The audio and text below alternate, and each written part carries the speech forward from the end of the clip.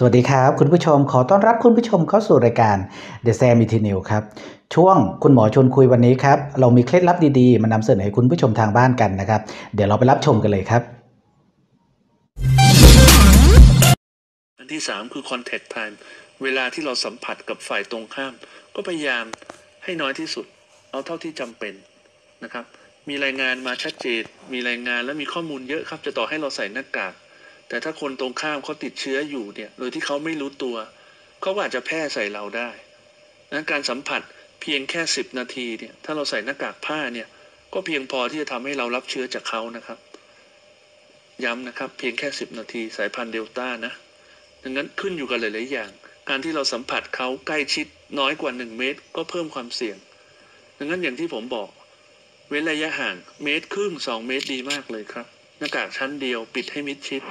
หลีกเลี่ยงการรวมตัวในกลุ่มมาก ๆ อันนี้จุดที่พลาดคือเห็นไหมครับ เราก็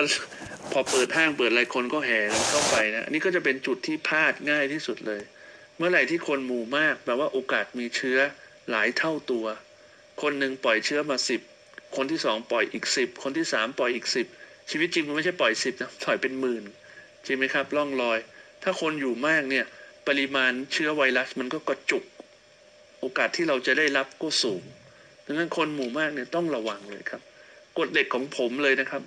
คนหมู่มากนี่คือผมจะถอยเลยนั้นสำคัญนะครับกฎหมู่มากนั้นที่ทำงานก็คือ ถ้าเราต้องรวมตัวประชุมก็อยากให้ปรับ